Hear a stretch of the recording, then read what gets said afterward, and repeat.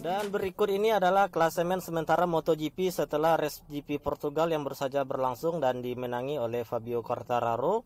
Maka di klasemen Quartararo memimpin dengan raihan 61 poin unggul atas Bagnaia di urutan kedua 46 poin dan Maverick Vinales ada di urutan ketiga 41 poin.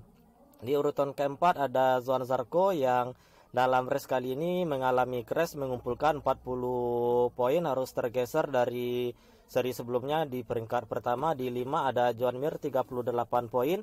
Di peringkat yang ke-6 ada Alex Espargaro 25 poin. Di peringkat ke-7 Alex Rins 23 poin.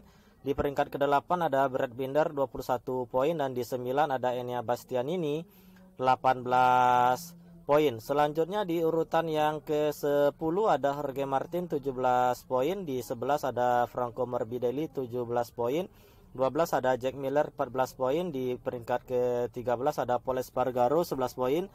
Mark Marquez yang baru comeback berhasil mengumpulkan 9 poin ada di urutan yang ke-14.